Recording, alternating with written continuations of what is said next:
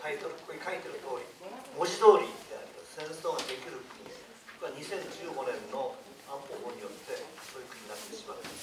それがいよいよ本格的に発動されて戦争する国差し掛かっている今まさに分水嶺戦後の分水嶺に差し掛かっているというのは私の認識であの私の考えでは戦後を支えた3つの価値というのがありますこれは私は戦後的な価値と呼んでますけれども3つあります1つは基本的人権の尊重と立憲主義2つ目が象徴天皇制と国民主権3つ目が平和的生存権と平和主義これがまさに戦後の日本政治社会を支えるバックボーンとしての価値としてずっと存在してきたんですこの3つの価値が今根本的に危機に瀕しているというのが私の認識でここで我々が踏ん張らなければこの3つの価値ことごとく開示に帰してしまう今そういう危機的な状態にあるというふうに思っております。まあ、毎年やっておりますけれども本日の今この時期もう極めて重要な節目の日であるというふうに思ってます。まあ、あの今回の地方選挙もそうでしたけど昨年防衛3文書が発表されましたこれはもう明らかに専守防衛を逸脱するかろうじて武力行使の合憲性を担保してきた専守防衛の路線がこれは明らかに廃棄されたあれが防衛三文書でありますところがなんでこんなに政治的に静かなんでしょう。マスコミも取り上げない。地方選挙でもほとんど論点にならなかった。奇妙な政治的な静寂が政治空間を覆っている。それが今の現実だというふうに思います。何とかしなければならないまあお集まりの方割とご高齢の方多いですけどあの後に続く人たち。多くの世代に対する我々の世代の最後のご奉公として頑張らなければいけないなというふうに私は密かに思っています年寄りだっていいじゃないなあそれは後の世代にいい世の中残すんだ頑張りましょう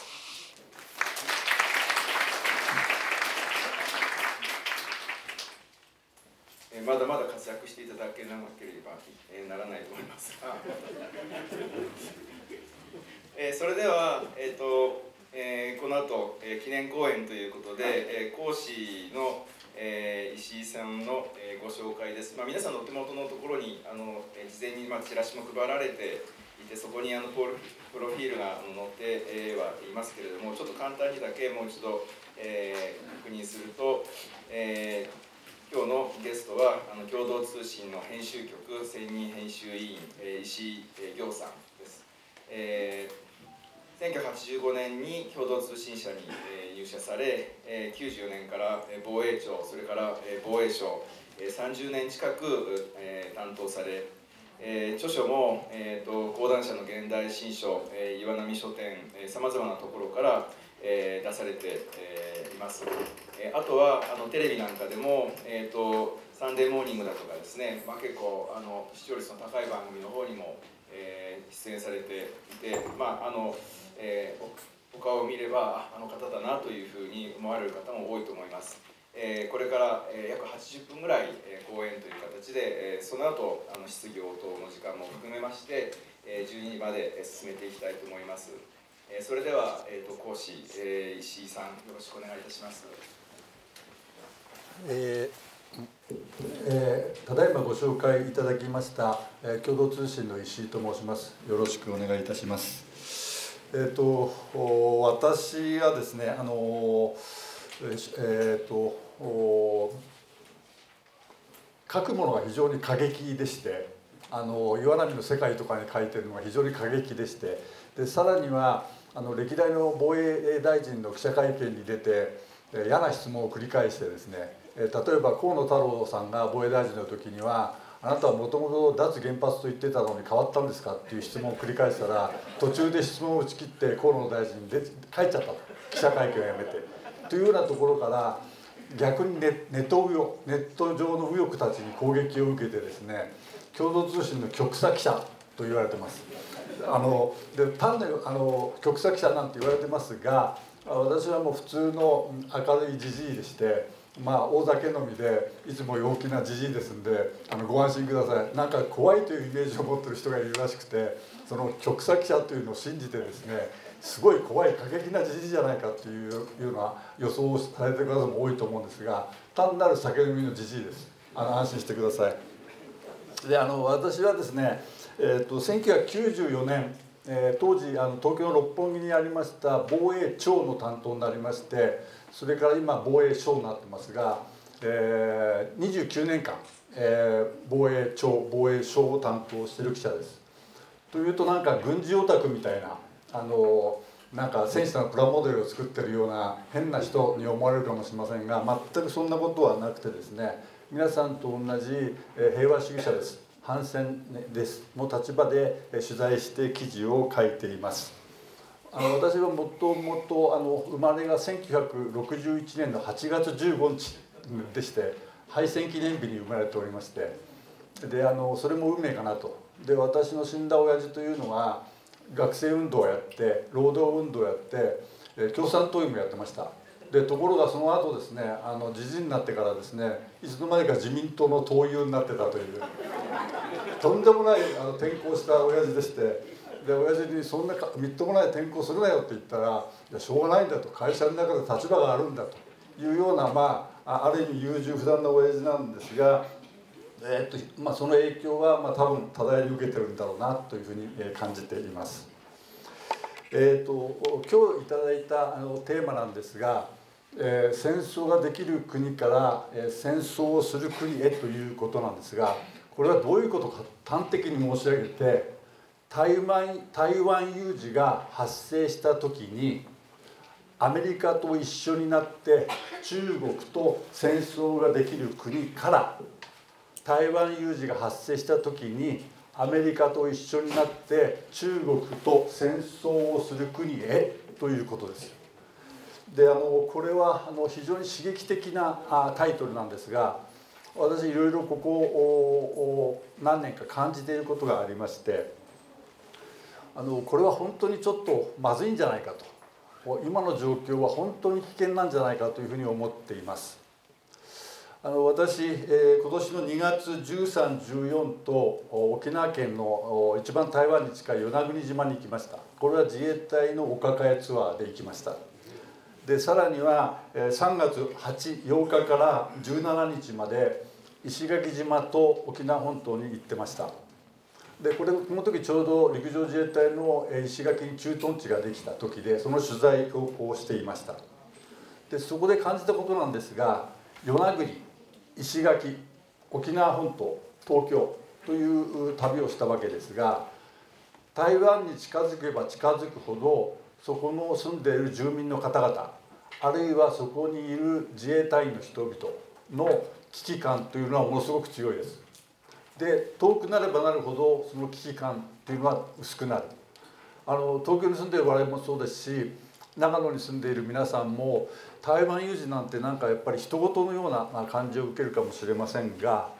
あ与那国の人たちはやっぱりすごいです。あの去年のあの8月にあの与那国島近くあるいは波照間島近くの、えー、日本の排他的、えー、経済水域 EEZ にですね中国の演習の時のミサイルが5発撃ち込まれたとというようなこともありましたそれだけすごくあの身に迫ってるんですねあの我々東京に住んでいる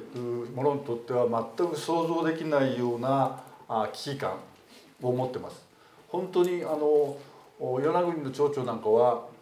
えーと、1人町民に100万円ずつ渡してなんとかその有事があった時には生き延びてくれというような案を発案したりというような状況までなっています。あのでこれは私は何が言いたいかと言いますとあの決して危機感を煽りたいから言うんではなくてその、えーと、状況を現状を正しく認識してそれで何としても日本が、えー戦争をしない戦争参戦しないということをどうしたらできるのかということを皆さんと一緒に考えていきたいと思います。それでは次お願いします。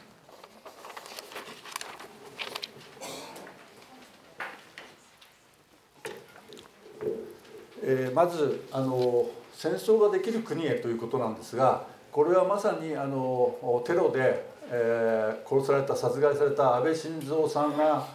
第二次安倍政権の時にやったことの数々です。安倍さんがやったこれこれらのことをことを通じて日本が戦争をできる国になっていたということです。まず一つ目は日本版 NSC と言われている国家安全保障会議を作りましたこれは、えー、戦時中の最最高戦争指導会議にあたるようなもので素早く戦争を始めどうやって戦ってどうやって終わらせるかということを素早く決定ができるように、えー、作った機関です。でこの日本版 NSC の下には NSS 国家安全保障局という事務局があってそこが外務省と防衛省あるいは警察庁からの官僚が出向してきてそこで日本の外交安全保障の司令塔になっています。ものすごく強力な組織です。ある意味外務省と防衛省の権限をかなり奪ったような組織です。そういうものを作った。戦争中の最高戦争指導会議にあたるものです。それから安倍さんがやった2つ目は特定秘密保護法を作ったことです。でこれは、戦時中の例えで言うと国防保安法とかですね軍機保護法にあたるものでこの法律はものすごく僕らの取材に影響があります。えー、先日海上自衛隊の一等海佐が元海将に特定秘密を教えたということで事件になって懲戒免職になりましたけれども僕ら新聞記者にとってもすごく嫌な法律なんです。あの防衛省自衛隊の幹部と飲んで話をして取材をしている時に「ちょっと待ってそれは特定費」って言われたらもうそこで話が終わっちゃうんですそれ以上話はしないよと。これ以上話すとお前も俺も逮捕されるぜっていうことなんですね。でそこで話が終わっちゃう。ものすごく大きなボディーブローのように聞いてます。あの私もあのいろんなあの危険な取材をしてますがあの先ほど紹介していただいた防衛省の秘密情報組織について講談社現代史上が本を出したんですがその取材なんかは特定秘密保護法があったら多分無理です。もうできません。怖くてできないです。というような法律です。これを作ったと。で、え3つ目はですね、えー、日本平和国家日本の矜持だった、えー、武器は輸出しない。という武器輸出三原則を原則的には武器を輸出するという防衛装備移転三原則に変えました。平和国家の矜持をかなぐり捨てて死の今今まで絶対ならないと言ってた死の承認国家へと、えー、作り変えるという原則です。これをやってのけたと。でさらにはこれが極めつけなんですね。集団的自衛権の行使を容認することを含んだ安全保障関連法を作ってしまったとまだ皆さんも記憶に新しいと思うんですが連日あの国会を取り囲むようなデモとか集会反対の声が高まる中で、えー、強行採決をしてしまったとでこれによってもうこの本当決定なんですが日本が戦争ができる国へということになったわけです。で、えー、さらにはえー、空母化、出雲と加賀という大型のヘリ空母をの上に、えー、F35B という戦闘機を搭載して空母にすると。今まで空母なんか持つなんていうことは考えられなかったんですが空母化も決めたと。2隻の空母化。さらには、えー、スタンドオフミサイルといった長距離のミサイルを保有すると。今まではそんなものは持たないと言ってきた長距離のミサイルを持つと。それから、えー、日米豪印日本アメリカオーストラリアインドの4カ国でクワクワッドという4カ国の中国包囲網を作ったということですね。でこのクワッドという日米豪印の中国包囲網、まあ、これは軍事同盟ではないんですが一方でアメリカとイギリスとオーストラリアはオーカスという3カ国の軍事同盟を作ったんですね。でそこの枠組みで今まで持ってなかったオーストラリアにオーストラリアに原子力潜水艦を供与するということも決めました。でその、えー、米英米英豪アメリカイギリスオーストラリアのオーカスという枠組みこれが軍事同盟なんですがそこに日本も加わってジョーカスなんか変な名前ジョーカーみたいですけどもジョーカスということを目指すという動きもあります。でそれはクワッドよりも日米合意のクワッドよりもはるかに危険な軍事同盟ですんでそれに加わって、え米英豪に日が加わるオーカスがジョーカスになる危険性もあります。そこは本当に注意して見ていかなければいけないと思います。では次お願いします。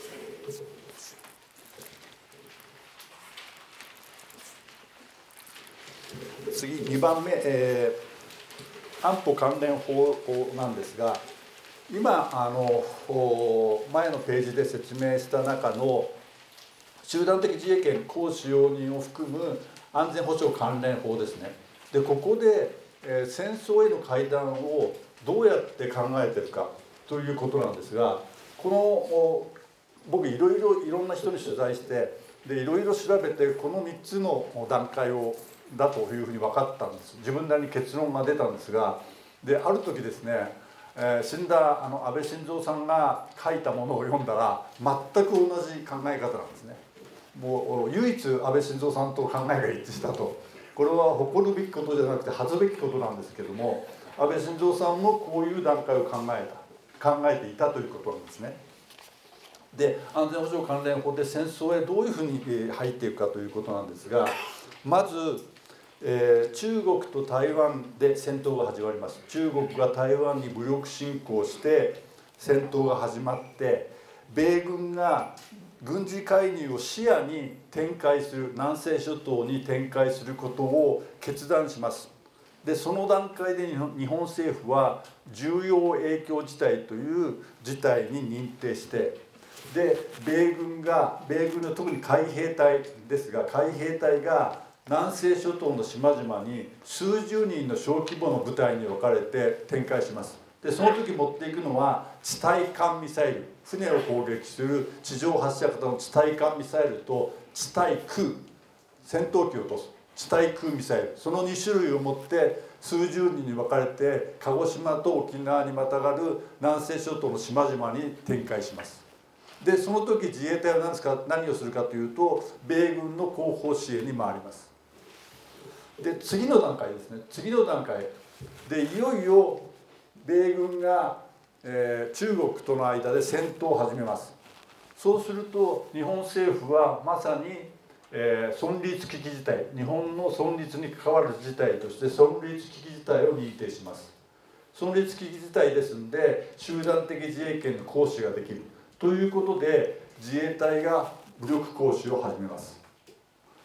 でさらにえー、中国が沖縄にある嘉手納基地とかですね在日米軍基地あるいは南西諸島に散らばった海兵隊の小規模部隊臨時拠点に攻撃を仕掛けます。そうするとですね日本政府は日本に対する攻撃だ日本の領土に対する日本の施政権下にある米軍基地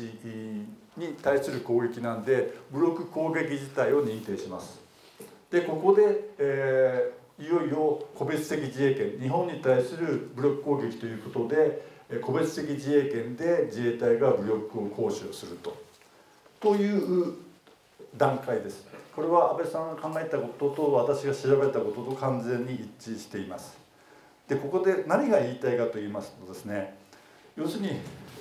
安全保障関連法で重要影響事態とか存立危機事態というのが新設されたわけですがこの2つが新設されたことによって台湾有事に自衛隊が参戦することが法的法律的に可能になったと。要するに米中戦争に巻き込まれる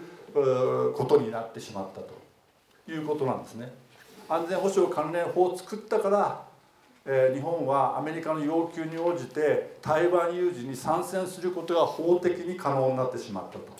これが安倍さんのやったことです。彼が誇らしげに言う彼の実績なんです。で次お願いします。で今のが安倍さんのやったことですが、え、次に、えー、岸田さんのやった去年の12月に出したえー、安全保障、えー、関連3文書の背景なんですがこの背景にはあのいろいろ要因がありますが一つにはあの皆さんも記憶に新しい去年の2月24日にロシアがウクライナ侵攻したと。それから次に、えー、中国台湾情勢が緊迫したと、えー、去年の8月にアメリカのペロシというあの女性の下院議長が台湾を訪問して蔡英文総統と会談したでその直後から中国人民解放軍は大規模な演習をして先ほど申し上げたようにえー与那国島の近くの排他的経済水域に5発のミサイルを撃ち込んだということがありました。でさらにはえ北朝鮮の核ミサイル開発あるいは訓練がずっと行われているということです。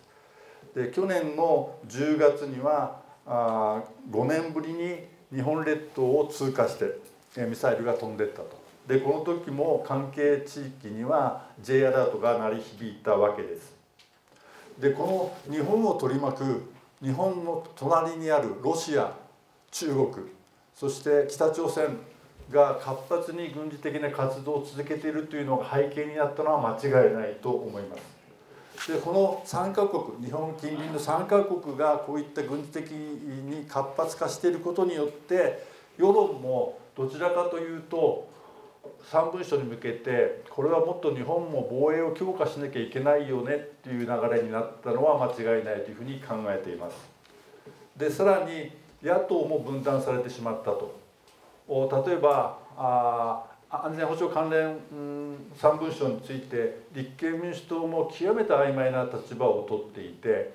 えー、スタンドオフミサイル長距離長射程のミサイルは必要だけれども敵基地攻撃能力はあ国際法違反の、えー、違反になる可能性があるとして、えー、保留をつけたんですね。で本当に野党がまとまって、えー、3文書に反対するということもなかったと。いうことです。でさらにはまあ安倍さんはもともと過激な右派の自民党の右派の政治家ですから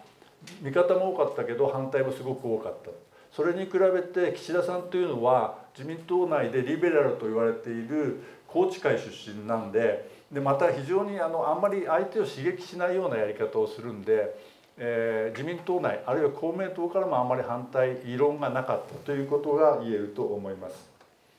というわけで、えー、安全保障関連法の時と違って3文書の時は国会周辺でデモとか集会とか、まあ、ほとんど行われなかったと。でそれは運動して運動してる人たちも全くダメだったとあの全く低調だったというふうに反省している人が多いです。でもそれはある意味やむを得ない部分もあったのかなというふうにも感じます。でさらには国会が閉会中に、えー、去年の12月にこの3文書を閣議決定したと国会での議論もほぼない中で単に有識者会議というのを作ってそこでお墨付きを与えてこの、えー、安全保障関連の3文書を通してしまったんですね。でこの3文書こそがやっぱり安倍さんの路線をひた走っていった岸田さん岸田政権がやってしまったことなんですね。これも安倍さんがやった安全保障関連法岸田さんがやった安全保障関連3文書この流れによって日本は本当にいよいよ瀬戸際に来てしまったということが言えると思います。次お願いします。であのここで戦争をする国へと台湾有事があった時にアメリカと一緒になって中国と戦争をする国へということなんですがあのこの安全保障関連3文書アメリカに合わせて変え変えたんですね。今までは、3文書といって国家安全保障戦略防衛大綱中規模という3つだったんですがその、防衛大綱を、NDS、えーと、ナショナルディフェンスストラテジー国家防衛戦略というふうに変えました。それから中規模を防衛力整備計画というふうに変えました。でその中で内容もアメリカとすり合わせて作ったんですね。内容もアメリカの3文書に相当するものとほぼすり合わせて全く齟齬がないようにきれいに作りました。アメリカと事前に相談して作ったものです。それからですねあのこの3文書の中心は何といっても、えー、敵基地攻撃能力自民党が最初に反撃能力と言い換えて、えー、政府も反撃能力という言葉を使いました敵基地攻撃能力というとあたかも先制攻撃するようだから反撃能力だったらいいんじゃないかと国民を騙せるんじゃないかということで言葉のすり替えをしたわけですね。でこれを持つことになったと。で後ほど説明しますがこの敵基地攻撃能力を持つことによって今まで、えー、政府歴代政権がずっと言ってきた専守防衛という言葉が全く意味をなさなくなりました。専守防衛はこれで完全に終わりました。そしてもう一つ3文書にで重要なのが大軍拡です。NATO 並みの GDP 比2%を達成すると。でこれは27年度には達成されることになりました。でここで唯一あ、まあ、救いと言えるかどうかわからないのは財務省が抵抗してその総合安全保障費という考えのもとに海上保安庁の経費とかあるいは公共インフラの整備経費とかあるいは研究開発を含めて2%とそうしたんですね。これは財務省の抵抗であの安倍さんの敷いたレールをひた走る岸田政権にがそちらに突っ走らないように財務省がせめてのせめてもの抵抗したというふうに私は考えています。そして、えー、もう一つ3文書に入ったのは防衛装備移転三原則のこれは運用指針の見直しなんですが先ほど安倍さんがやった武器輸出三原則という平和国家の矜持をかなぐり捨てて死の承認国家に近づいた近づけるために作ったのが防衛装備移転三原則なんですがさらにこれの運用指針を変えて武器を輸出していこうという方針です。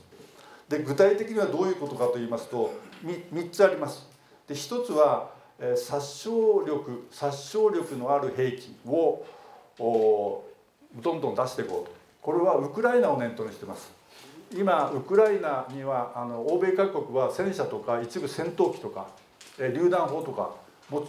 ものすごい殺傷力ある兵器を欧米各国は出してますね。日本が今出してるのは防弾ヘルメット防弾チョッキまでなんです。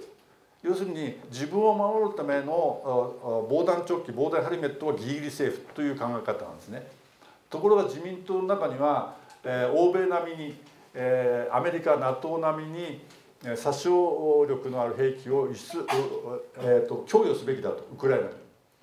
でこれに関しては、えーと、非常にあの自民党内公明党内にもいろんな意見があってですね、えー、分かれてます。あの自民党の国防族の中にはえー、例えばあ相手のミサイルを迎撃するあ迎撃ミサイルだったらいいんじゃないかとそれは防御型の殺傷兵器なんでいいんじゃないかということを言う人もいます。あるいはどこで妥協するかということなんですが例えば榴弾砲という砲の弾丸まではいいんじゃないかというようなことを言う人もいます。で私たちが考えなきゃいけない例えばこれあの共産党も迷ったんですよね。共産党の、えーと、田村政策委員長田村智子さんが、えー、防弾チョッキと防弾ヘルメットはあの出していいという時にあの賛成したんですよね。ところが、小池書記局長に叱責されて取り消したということがあって非常に微妙な問題だと思います。防弾ヘルメット防弾チョッキもはどうなのかとかあるいはその防御型の殺傷兵器ならいいのかとかいろんな考え方があります。でそこそれが焦点の一つ目。で2つ目は、え、殺傷力のない兵器の分野を拡大する今のところ5つの分野で、えー、あの移転ができるんですが救難輸送警戒監視掃海という5つの分野で、えー、殺傷力のない兵ない兵器はあ移転できるんですがそれに例えば教育訓練とかですね時代除去とかそういったものを含めたらどうかという意見が出ていてそれについては公明党も大筋了解している状況です。それから3つ目は国際共同開発に伴う第三国への移転の手続きを簡素化すべきだと。でこれはどういうことかと言いますと今新しい戦闘機を日本とイギリスとイタリアで共同開発始めてます。で共同開発して新しい戦闘機ができたらイギリスもイタリアも第三国に輸出したいんですね輸出しないとあの開発費がペイできないと輸出すればそんだけ機体が安くなるんで輸出したいとで日本もそれに乗らなければイギリスイタリアが困ってしまうんでその手続きを簡素化しなきゃいけないという議論です。でこれも公明党はあの理解を示しているところです。で果たして我々このどういうふうに考えたらいいのか僕も非常に今迷ってます。特にウクライナに対する兵器をどこまでどこまで出し、え、供与していいのか。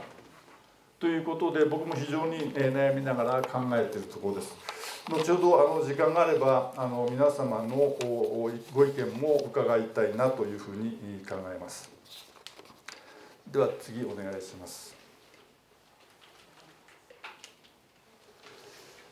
えーと、これは、えー、台湾有事に自動参戦へということなんですがあの先ほど申し上げた、えー、安倍晋三元総理がやった安全保障関連法でここで新しく重要影響事態という事態と存立危機事態という事態存立危機事態は集団的自衛権が行使できるという事態ですがこの2つを作ったことが台湾有事の自動参戦を自衛隊が参戦するのを法律的法的に可能にしたわけですね。で次に岸田さんがやったこと3文書でやった、えー、敵基地攻撃能力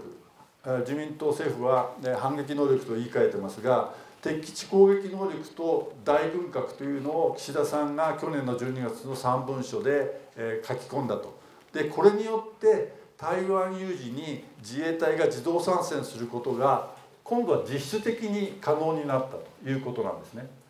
法律的に可能にしたのは安倍さんでそのレールの上を下走って下走って、えー、岸田さんがやったのはその自動参戦を実質的に軍備としてできるように、えー、路線を作ったということなんですね。だから私が言いたい、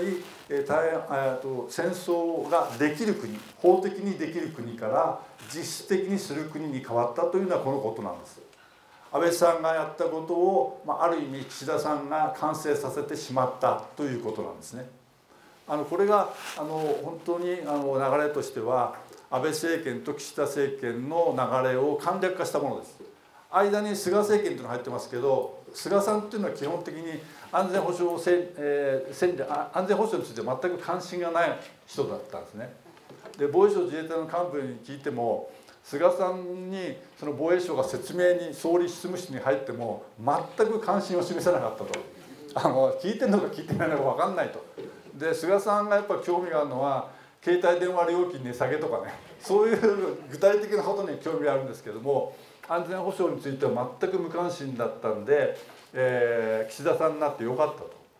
岸田さんはあの宏池会出身なんであの安倍さんの路線を否定するんじゃないかというふうに予想してたけど実際は安倍さんよりも結構過激だよねということを言ってます。で僕らもそれに騙されちゃいけないと思います。岸田さんは本当にあのやってしまったこと。で彼はアメリカの講演ですごくあの威張ってましたよね、えーと、自分のやった今回の3文書っていうのは吉田茂の安保それから岸信介の安保改定で安倍晋三の、えー、安全保障関連法集団的自衛権。で今度の岸田の、えー、安全保障関連3文書。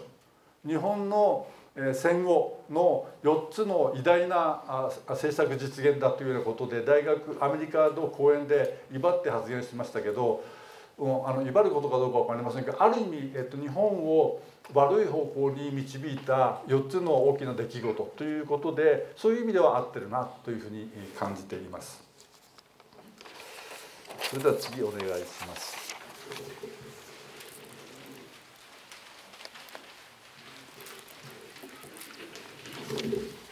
えー、と今度はちょっとあの敵地攻撃能力について、えー、細かく見ていきたいんですがこれ皆さんもちもちろんご存知だと思うんですがもともとこの敵地攻撃能力っていうのはあの1956年に鳩山内閣が出したあ政府見解ですね。えーと、座して自滅を待つべしというのが憲法の趣旨とは考えられないとある国が日本にミサイルを撃ってこようとする時に座して自滅日本が自滅してもいいというふうに考えるのが憲法の趣旨だとは考えられないという政府見解を出してこれを合憲としたわけですね。敵地攻撃能力は合憲で憲法に合ってるよということを見解を出したんですね。でところがこれ、えっと、ある意味嘘なんですよ。でこの後に憲法の趣旨とは考えられないという後に公団が実はあるんです。でこの公団についてはあの政府は基本的にあんまり使わないんですね。面倒くさいし説明ができないから。その公団の部分をちょっと読みますと他に防衛の手段があるにもかかわらず侵略国の領域内の基地を叩くことが防衛上便宜であるというだけの場合を予想し安易にその基地を攻撃するのは自衛の範囲に入らないと言ってるんですね。そこまでちゃんと引用しろよと。そこまで引用したら全然意味が違うじゃないかということなんですね。そういうごまかしをやってるんですね。都合のいいところだけは引用するんだけどもその講談の部分は引用しない講談まで考えたらあれ？おかしいじゃんっていう感じになると思うんですけど講談の部分は決して引用しないんですね。という図るがあるということです。でもともとその鳩山内閣のこういった政府見解があってしばらくま時間が敵地攻撃能力についてもいろいろ議論があったんですけどもあの、まあ、例えば石破茂さんなんか言ってたのは北朝鮮が、えー、発射台にミサイルを立ててで北朝鮮のあの政府声明として東京を火の海にするぞと言ってえ液体燃料に着火した時点でそれはミサイル攻撃の着手だっていうようなことを言ってたんですけど今そんな議論してもそんな発射台にミサイル立てるような国どこにもありませんので全くその議論は無効になってるんですがそういうようななんか議論がずっと繰り返されてきてきたんですけどもずっとあったと。であの大きな出来事として次にあったのは先ほど申し上げたあのちょっと変わった防衛大臣の河野太郎さん私は非常にあの馬が合わないんですけども河野太郎さんがいきなりイージス・アショアの配備の計画中止すると言ったのが2020年6月ですね。でこれは秋田と山口の自衛隊の演習場に配備するはずだったんですがどうも計算上ミサイルを発射迎撃ミサイルを発射したらミサイルの部品の一部が住宅地に落ちるということが避けられないとでそれを回収するとなるとものすごい費用がかかるということでイーサー・ショアの、えー、配備計画中止を河野太郎さんが表明したんですね。でこの後また安倍さんがその当時の言ったのはねこの直後ですね河野太郎さんがイーサー・ショアの配備中止を言った直後に安倍さんが言ったのは何が抑止力になり得るかを含めて議論すると。でこれ安倍さんが言いたかったことはですねもうミサイル技術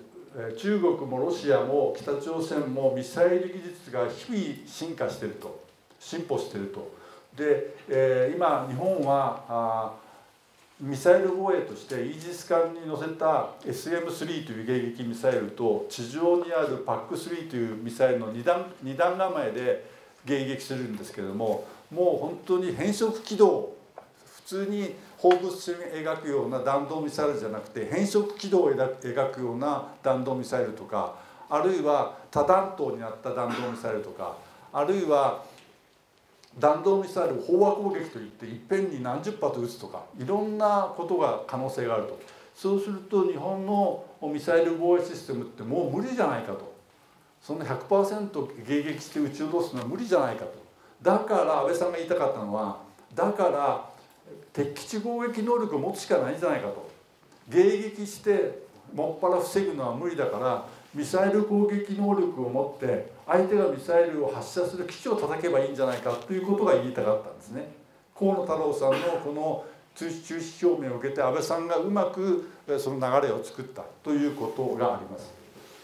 それからもう一つこの経緯なんですけどもアメリカが2020年の10月にあの統合抑止統合抑止力という考え方を出したんですね。でこの統合抑止力ってあんまり聞いたことないし僕は初めて聞きました。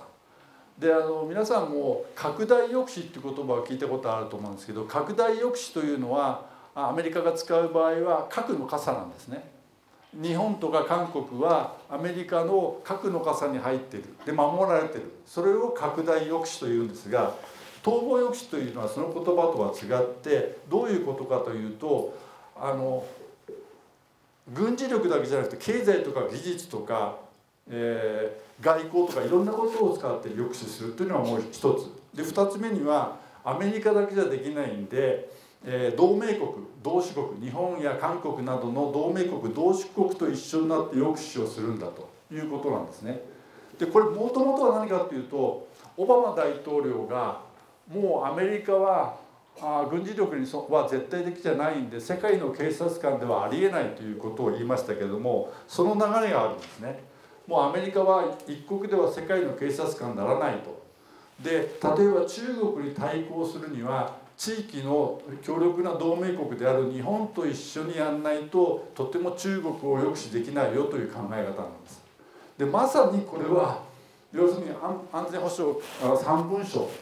にちゃんと書き込めよと一緒に戦うということを書き込めよという考え方なんですね。でこれは非常にアメリカとして強い要求を日本に出して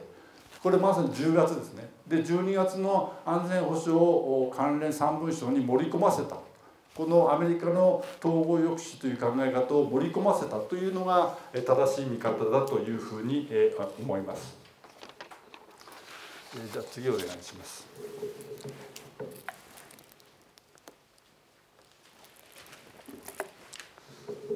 次、えー、敵地攻撃能力の問題点なんですが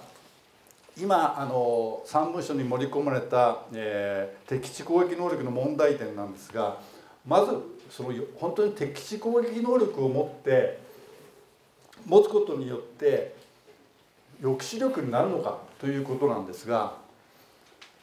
あの先ほど申し上げたようにロシアも中国も北朝鮮も日本にあ周りにある3カ国危ない3カ国はまあ基本的に核保有国ですね。北朝鮮を核保有国と認めるかどうかという議論はありますけれども基本的に3カ国とも核保有国。核保有国に対して日本が敵地攻撃能力を持ったからといってその3カ国が果たして脅威に感じるかどうか。日本を。で日本のことを脅威に感じないということは抑止力が効かないということなんですね。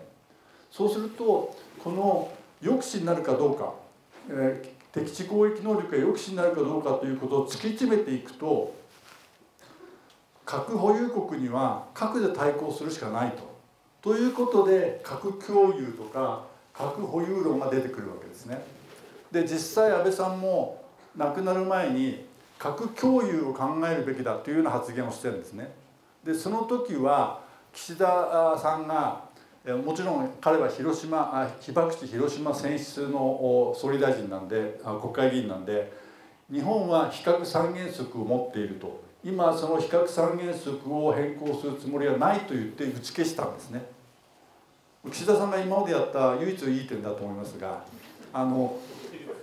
逆にですね韓国はやっぱり北朝鮮の核の脅威が北朝鮮も戦術核というあの比較的出力の小さい核を開発してるんで韓国は非常に北朝鮮の核の脅威に感じてると。だから韓国内では核共有論とか核保有論が出てきてでこの間米韓の首脳会談がワシントンで行われて結局核の傘を強化すると。それから韓国と協議アメリカの間に協議体を作って韓国がアメリカの核戦力に発言する、えー、権利を持つというようなことで韓国の核共有論とか核保有論を抑えたんですねアメリカと韓国が。そのまま言ってると韓国内にはやっぱり核共有論核保有論っていうのが出てきてしまうんで盛り上がってきてしまうんでアメリカの大統領と韓国の大統領が会談をして抑えるためにああいった結論を出したということです。日本の場合は被爆国という特別な事情があって今のところ岸田さんも比較三原則を変えるということは言ってないんでそこはちょっといいなと思ってるんですが自民党内には比較三原則の作らず持たず持ち込ませずのうち持ち込ませずは外すべきだという議論は堂々とされてますそれは非常に警戒をしなければいけないことだと思います。それからもう一つ敵地攻撃能力の問題点として挙げなきゃいけないのはいわゆる安全保障のジレンマということなんですね。日本が敵地攻撃能力を持って軍拡をするあるいは大防衛費を上げて軍拡をする。そうすると周りにあるロシアも中国も北朝鮮も日本が軍拡して敵地攻撃能力を持ったんだからもっとこっちも軍備を整えなきゃいけないということで軍拡が始まるそれが際限のない軍拡競争になって最後は偶発的な衝突が起きて本当に、え戦闘に至る危険性が高まるというのを安全保障のジレンマというんですがそういう、え際限のない軍拡競争に陥る危険性があるということです。であのあとですねあのこの敵地攻撃能力で問題になってるのは、えー、着手の問題この着手日本政府はミサイル攻撃が実際になくても敵国がミサイル攻撃に着手した段階で敵地攻撃ができると言ってるんですが着手した段階って本当に分かるのかということなんですね。その昔先ほど石破さんの話を挙げましたけど昔みたいにミサイルを発射台に据え付けて、えー、そこから液体燃料に着火してっていうような悠長なことをやってもすぐ衛星で見られちゃうからそんなことはしないんです。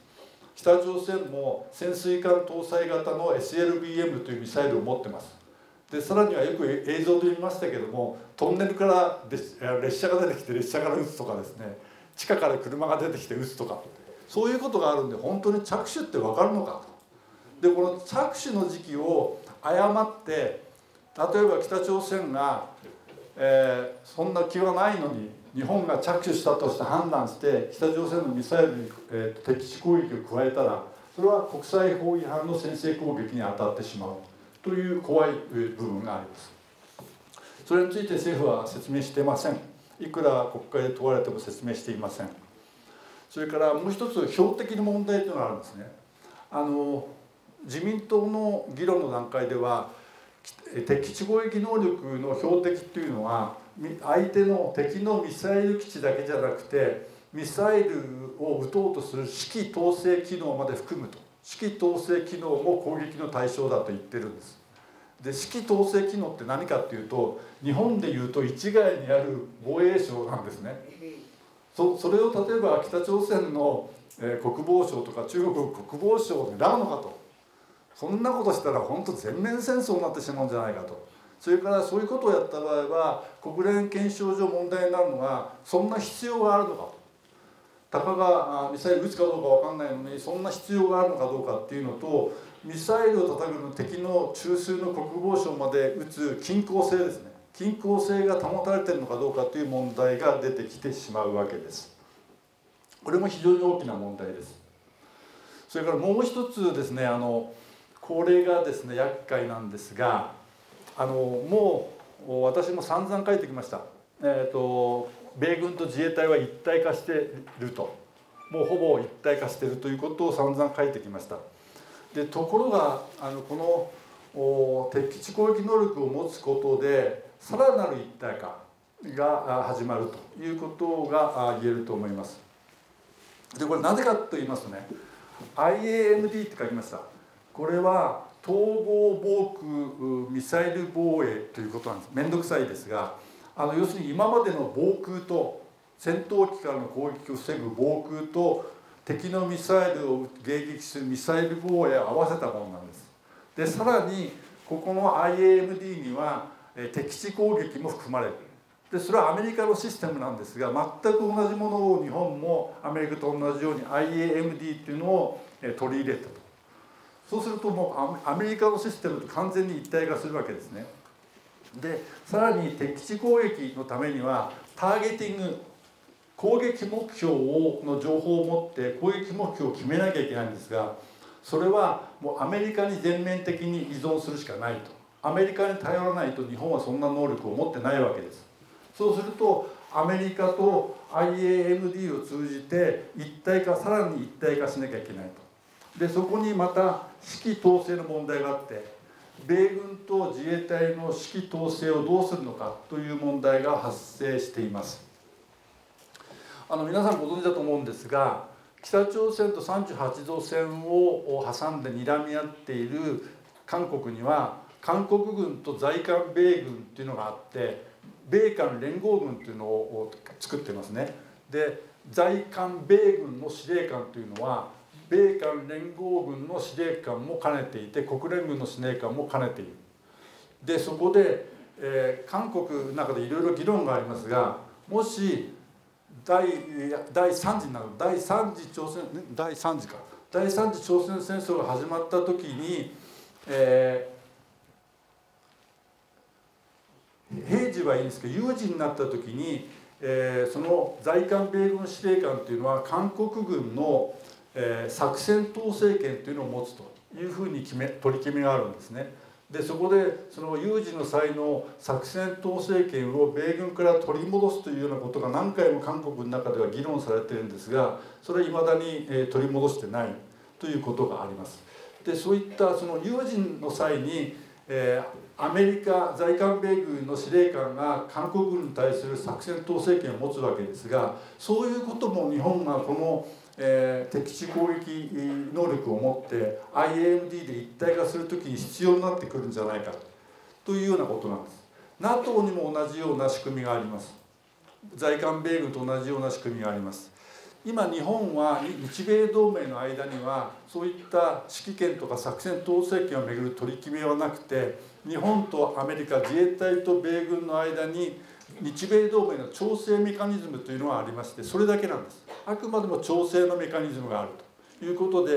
指揮権とか作戦統制権をめぐって何の取り決めもないんですがそういったものも必然的に必要になってくるんじゃないかと。そういう議論はすでに始まっているというふうに聞いています。それでは次お願いします。次お願いし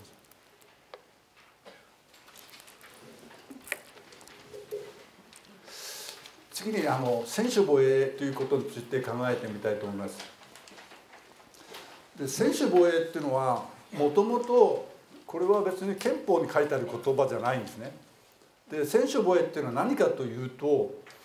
あの歴代自民党政権あの民主党政権とか一部含みますがが考えた概念で憲法9条があるのに、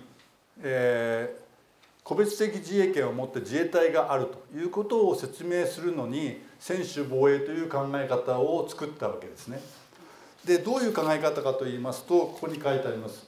攻撃を受けた際に初めて防衛力を行使しその対応や保持する防衛力は自衛のための必要最小限にとどめる受動的な姿勢ということなんですね。文字通りですね。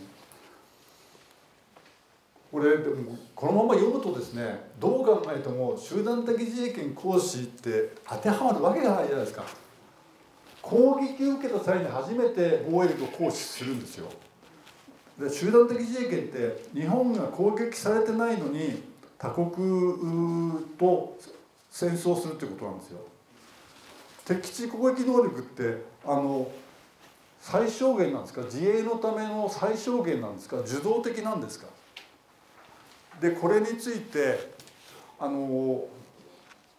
元内閣法制局長官の坂田、えー、正弘さんはあ「世界」という雑誌の中で憲法9条の死だとこの2つを合わせると。逆に言うと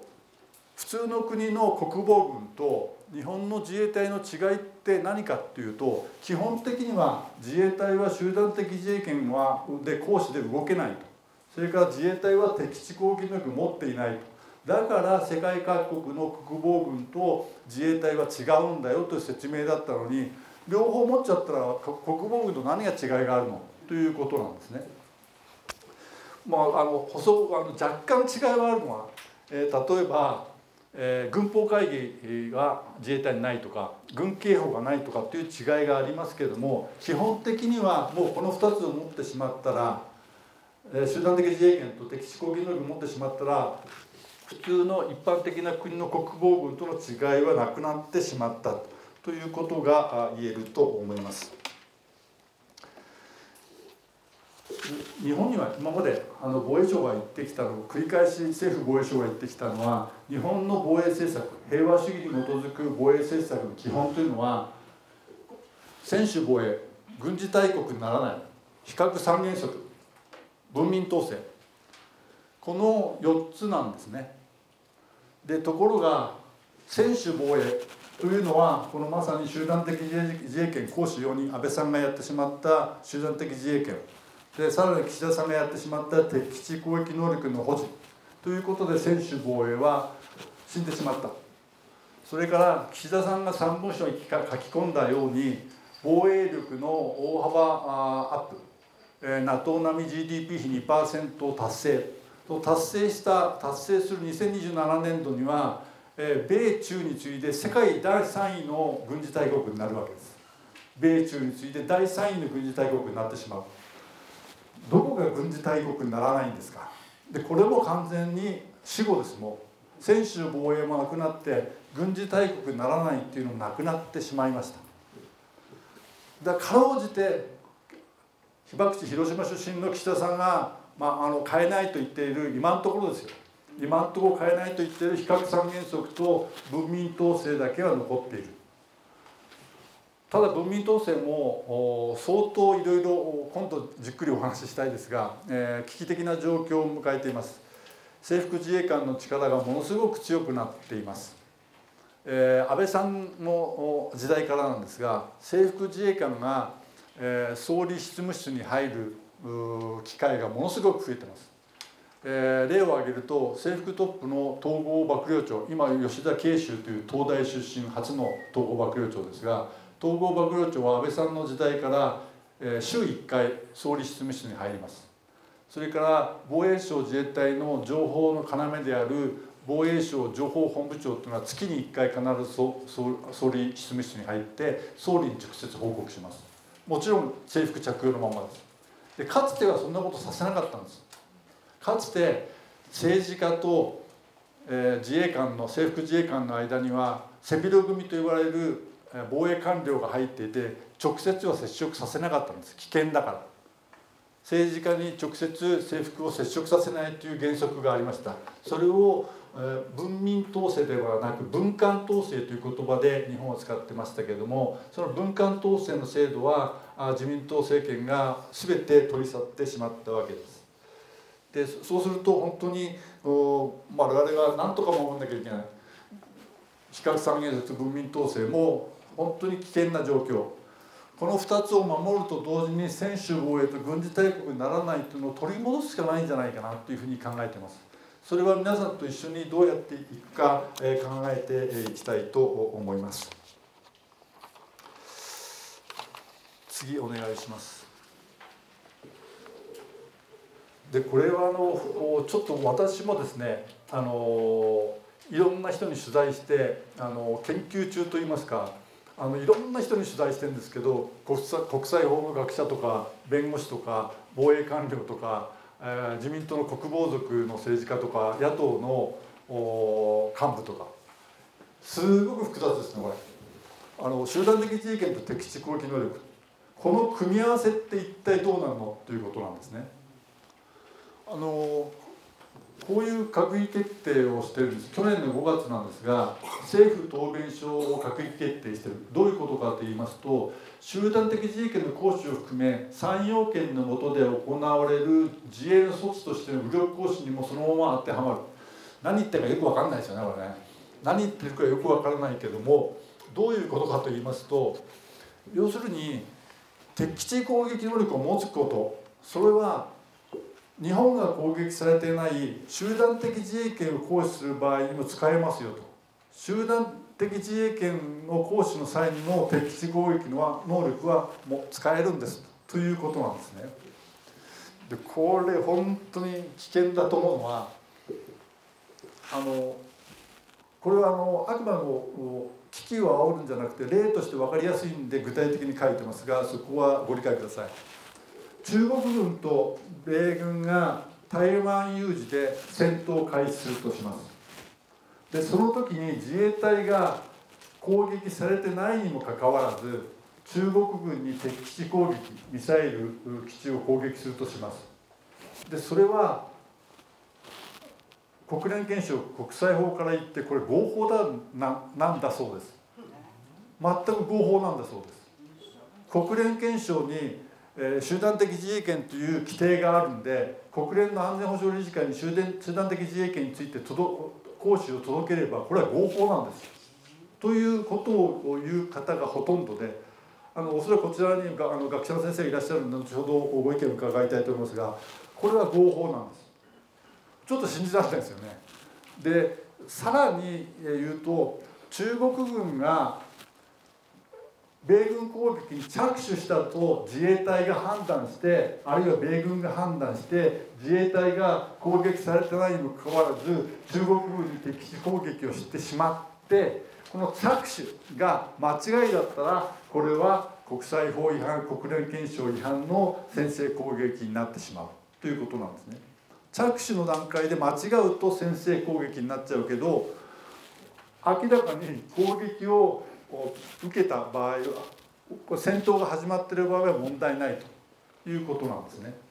これってこの組み合わせって本当に危険だと思いませんか？本当にこれはこういうことらしいんです。私の今までの取材だと。こういうあのいろんな意見の方があの学者の中にも弁護士の中にも政治家の中にもいるんですけど私のせいでは今のところこういうことです。こんだけ危険な組み合わせなんですね。ところがえ国会でこういうことを聞かれても総理大臣も防衛大臣も個別具体的に判断するという説明だけなんですね。本当にこんなことが行われるのかどうかというのを徹底して、え追求していかなければいけないと思います。であのこれについては例えば、えーと、放送資格を持っている弁護士の、えーと、社民党の福島瑞穂党首は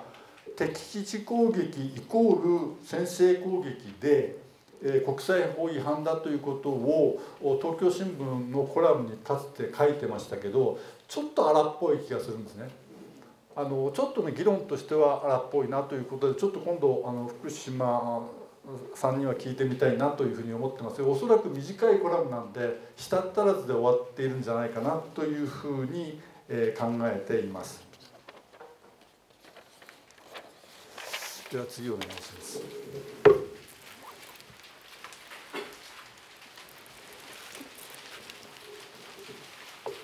それであのこれ今度は具体的な動きなんですけれども南西諸島でのここ最近つい最近の動きですけれどもこれあの3文書にも入りましたよね、えー、陸上自衛隊の第15旅団を15師団に増強すると。第15師団に増強すると。でこれはあの沖縄の第15旅団というのは那覇空港のそばの駐屯地に一つの連隊を中心にあるんですね。で非常にまあ兵力としては小さいんでもう一つ連隊を持ってきてそれで師団にしようということなんですね。でも同じその那覇空港のそばの那覇駐屯地にもう一つ連隊同じような連隊を持ってきてもあんまり意味がないんで防衛省陸上自衛隊が考えている持ってくるもう一つの連隊というのは、えー、おそらく日本版の海兵隊と言われている水陸機動団水陸機動団という団があってそこに水陸機動連隊という、まあ、日本版海兵隊ですがそういうものがあるんですがその水陸機動連隊に近いものをおそらく持ってくるだろうと。で私はかつてあの沖縄タイムスの阿部さんという記者と一緒に取材して書いたんですが一番いいのは、えー、キャンプシュワブ辺野古なんですね。辺野古に持ってきて辺野古の新基地が完成すればあオスプレイも使える。それから輸送艦も使える。最高の場所なんですね。おそらくで海兵隊アメリカの海兵隊はキャンプシュワブにいるわけですから本当に一緒になって行動ができる一緒に訓練できるということでおそらくキャンプシュワブ辺野古に持ってきたいというふうに考えてると思います。まだそれはあの一旦私たちが記事を書いた後に当時の菅官房長官が完全に官房長官かな？総理大臣かな？完全に国会に否定してしまったんですぐにはできないと思いますが彼らがそういうことを考えているのは間違いないというふうに考えています。でさらには、えー、アメリカ海兵隊沖縄にいるアメリカ海兵隊を海兵沿岸連隊に改編するということがこれは2プラス2で、えー、盛り込まれました。日米の外務防衛大臣、えー、会議で盛り込まれました。でこれどういうことかって言いますとね先ほど申し上げたようにあの海兵隊中国とアメリカが台湾をめぐって戦争する時に中心は海軍と空軍なんですね。米中とも海軍と空軍が中心なんですそうすると海兵隊としては何とか自分たちも役に立ちたいと存在感を見せつけたいということで考えたのが、えー、EABO という遠征前方基地作戦というのとそれと連動するフォースデザイン2030という考え方でそれに基づいたことなんですね。でこれどういうことかと言いますと先ほど申し上げたように台湾有事が起きた時にこの海兵沿岸連隊っていうのは数十人の小さな部隊に分かれてね南西諸島の大体40の島有人島40の島に、えー、分散するんです。でそこで地対艦ミサイル地対空ミサイルを使って中国の船とか飛行機を撃ち落とす。で撃ち落とすと反撃されるんですぐ近くの島に移る。そういうことをやる作戦を考えたんです。でそのための改変なんです。じゃあそこに住んでる住民はどうなのかということは彼らは一切考えていません。軍隊っていうのは住民の存在を完全に無視します。特に米軍は沖縄県とか鹿児島県の南西諸島に住んでいる住民のことなんか一切考えていません。自分たちが危なくなったら次の島に移ればいいやということなんですね。でそのための改変をするということを2プラス2で発表しました。いよいよなんですね。南西諸島のかつては200あると言われてた島のうち40から60が有人島なんです。そのほとんど40の島を使うと。でその条件としては水道が出るということなんですね。水道が出る40の島々に分散展開して数十人分散展開して地対艦ミサイル地対空ミサイルを撃って敵を攻撃したらすぐ逃げて次の島に移ると。いうことを繰り返します。そのための改変です。それからいよいよこれも陸上自衛隊とアメリカの海兵隊の離島奪還訓練を今までは、えー、アメリカのカリフォルニアのペンデルトンというアメリカでやってた訓練を今年からはハワイ2世でやる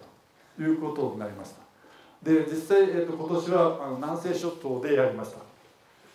だからおそらくハワイかグアムか南西諸島を使ってやるようになったんです。今までは西海岸のペンデルトンでやっててカリフォルニアでやってたやつをハワイ2世ハワイかグアムか南西諸島でやると。どういうことかというと中国の目の前でやってプレッシャーを中国に与えるんです。我々はこんなに激しい訓練をしてるんだよと。我々はこんな強いんだよということを中国の目の前で見せつける。いよいよここまでやるかという感じなんですね。今まではあまり中国を刺激しないようにアメリカの西海岸でやってたのをいきなりハワイ2世でやるというふうに決めました。でさらにこれは海兵隊ですが米陸軍も南西諸島を意識して、えー、訓練をするようになってます。陸上自衛隊と一緒に訓練します。米陸軍もおそらく公式には言ってませんが台湾有事があった時は海兵隊と同じように、えー、まあ分担して南西諸島の島々に散らばってそこで戦うと。他に陸軍がやることはないんです。海兵隊と同じなんです。ということを陸軍も考えていると。いよいよ本当に具体的にあの米軍が動き出したということが言えると思います。次お願いします。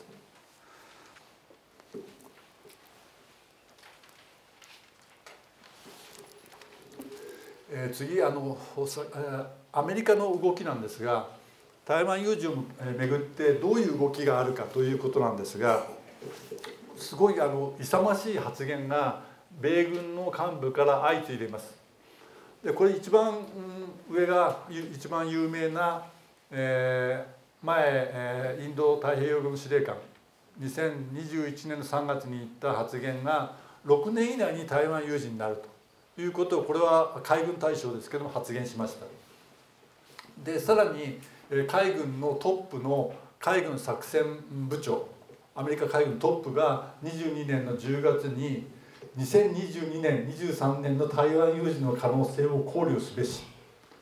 という発言をしました。でさらに23年1月今年の1月に空軍の航空機動軍団司令官が直感では米中が25年2025年って来年再来年ですよ25年に戦うことになるという発言発言にこれメモを部隊部内に回したやつが流出してそれが本物だというふうに認めたということです。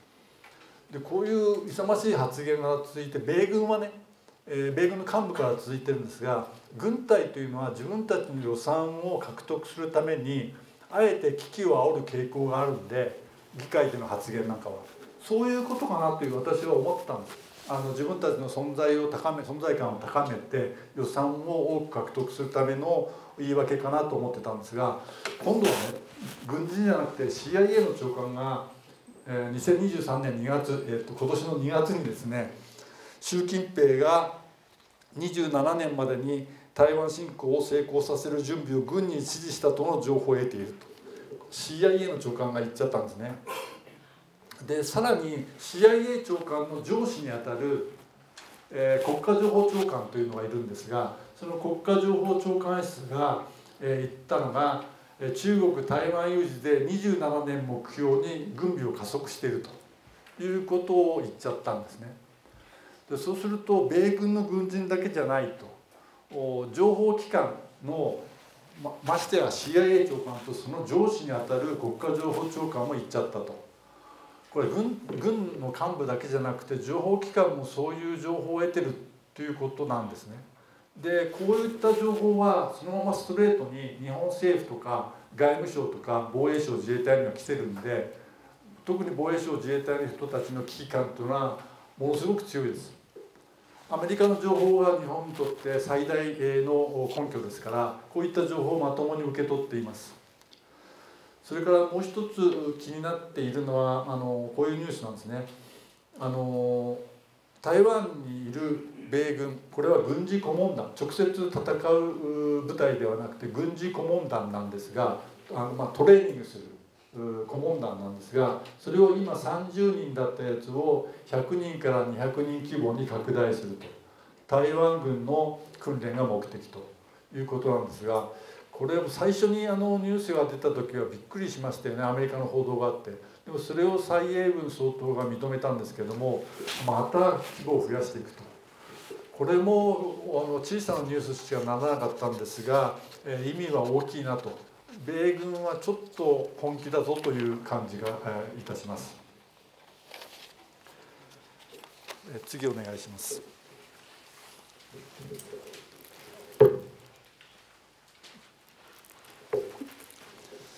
であのこれからが私の申し上げたいことなんですがあの私はもう絶対に日本は戦争をしてはいけないというふうに考えています。あのそのために皆さんといろいろ話し合ってあの新しい、えやり方を見つけたいと思うんですが私の今まで考えてきたことを申し上げます。あの日本ってもともとあの1972年に日中国交正常化した時にあの一つの中国ワンチャイナポリシーっていうのを持ってるんですね。中国は一つであって台湾は中華人民共和国政府の、ね、所属あのものだ中国は一つ。台湾は中国のものだという政策を持っている。アメリカもまあほぼそれに近いワンチャイナポリシーを持っているということなんですがそうすると一つの中国政策っていうのを確認しなきゃいけないんじゃないかと。台湾有事に関わらないために。日本政府は中国は一つだと台湾は中国の一部だということを認めてるわけですからそうすると万が一あの中国が台湾に武力侵攻したとしてもそれは内政問題なんじゃないかと。それは内戦なんじゃないかという考え方はできると思います。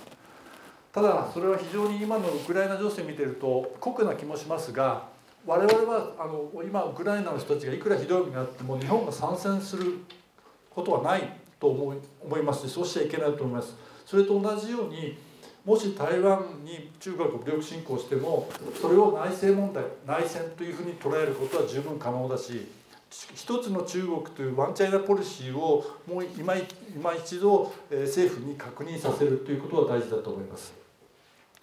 それからまあ外交なんですけれども台湾有事の発生を阻止するためにどうしたらいいか、まあ、一つは対中外交を強化して中国とのパイプ人的なパイプを太くすると。で中国と活発に外交交渉をしていくと。それからもう一つは日本とアメリカは特に協力して台湾の蔡英文総統あるいは蔡英文以降の総統にも絶対に独立宣言をさせないと。独立宣言をしないでくれと。今のところ中国の考え方は台湾は独立台湾が独立宣言をしない限り武力侵攻しないというような考え方なんですね。だから独立宣言をさせない。ということは大事でそれは日米で協力してやった方がやるのが一番いいと思います。で、万が一台湾有事が発生してしまってもどうすればいいかというと発生してしまってもアメリカの参戦を阻止するんだと。アメリカが参戦しないようにすると。それは日本がアメリカ参戦するなということを外交的に、説得すると。でさらに日本独自で日本は参戦しないと。あるいは安全保障関連法を適用しないという宣言をすると。さすがにその参戦しない安全保障関連法を適用しないという宣言をした国に中国軍がちょっかいを出してくるということは考えられないというふうに考えます。それからもうもう一つ。強硬的な手段ですけれども日米安全保障条約の第6条に基づいて日本の在日米軍基地例えば嘉手納基地などから飛び立つ戦闘機えー、戦闘作戦行動に飛び立つ戦闘機が飛び立つ場合には事前協議が必要なんですがそれを拒否するということができます。でこの拒否するということは非常に最後の最後の手段としては重要だというふうに思ってます。ただこの事前協議については、えー、法律の規定がないんですね。日本国内法の規定がなくて例えば国家安全保障会議でどういう話をするとか閣議決定をどうするとか国会の承認が必要かどうかという規定が一切ないんでこの法的な整備は早く手をつけなければいけないというふうに思います。それからもう本当に最後の最後の手段です。で例えばアメリカが中国と戦闘を始めそう。あるいは始めてしまっても、えー、重要影響自体存立危機自体を政府が認定しようとしても国会で承認しないと。国会で承認しないと。そのためにも本当にあの我々は当たり前のことですけどもこれから先は我々の一票というのはものすごく大きい。どういう政党に投票するか。この事前協事前協議あるいはここの、えー、事態の認定を国会で承認しないといった時にその党がどういう行動をとるかということを考えて投票しなければいけないと。でそういう差し迫った時期に来ちゃってるんだなというふうに思います次お願いしますでこれはあの最後の結論めいたものなんですが、えー、日米同盟か国民の命かと生命かということなんですが私これをこの部分で怒りがあるんですけど安全保障関連法の審議の時に安倍晋三さんは国会の審議の中で何回もこう言ってるんです。安全保障関連法ができたとしてもアメリカの戦争にこの法律によって日本が巻き込まれることは絶対にないということをずっと言ってきました。ところが殺される直前に2027年12月になったら台湾有事は日本有事日米同盟の有事ということを言ったんですね。いや何言ってんだと。あなたが安全保障関連法なんか作ったから日本はアメリカが一緒に戦争しようよと言っても断れなくなったんじゃないかと。それまでは断れたんですよ。全て。朝鮮戦争もベトナム戦争も湾岸戦争もイラク戦争も全て断れたんです。日本は集団的自衛権が行使できないんでアメリカの戦争には参加できません参戦できませんというふうに断れたんです。それを断れなくしたのはあなたがやったことでしょう。だから台湾有事に日本が巻き込まれる危険性が出てきちゃったんじゃないかということなんです。前国会審議で言ったことと全く違うじゃないですか。これは本当に本音が出たというかケツまくったというかいよいよ本音を喋ったなと思ったら殺されてしまったということなんですね。本当にこれを聞いた時怒りが湧きました。全然言ってることが違うだろうと。全く違うことを言ってました。あの日本のあの戦後というのはあの平和をめぐってあの憲法と日米安保条約のせめぎ合いということが言えると思います。憲法9条があるのに不保持戦力不保持があるのに在日米軍があるとかですね、えーと、法の下の平等とか基本的人権の尊重というのがあるのに不平等な地位協定がいまだに続いているとかということなんですね。でどっちが大事なのかで私はあのこう考えます。戦後今78年ですが日本の平和とりあえず戦争が一回も起きていないのは日米同盟があって日米安全保障条約があってアメリカが日本を守ってくれてるからじゃないかっていう人がいます私は決してそうは思いません、えーと、憲法9条があって日本に集団的自衛権が認められてなかったから日本の平和が保たれてきたというふうに考えます。もう日米同盟なんてなくてもいいというふうに思います。日米同盟だって日本の平和を守るために平和を維持するためにあるというふうに言ってるんだから台湾有事をめぐって日米同盟を守るために参戦するのかあるいは国民の命を守るために参戦しないのか。当たり前のことじゃないですか。日米同盟を守ることが自己目的化してどうするんですかっていうふうに思います。日米同盟を守るために参戦するっていう安倍さんの考え方。これは絶対におかしいと思います。国民の命を守ることが目的なんです。日米同盟だってそのための道具であるはずなのにそれが自己目的化して日米同盟の基地だからこの台湾有事が起きてアメリカに求められて参戦しなければ日米同盟が崩壊する。その崩壊すればいいじゃないですか。の崩壊していりませんそんなもの。日米同盟なんて何のためになるんですか。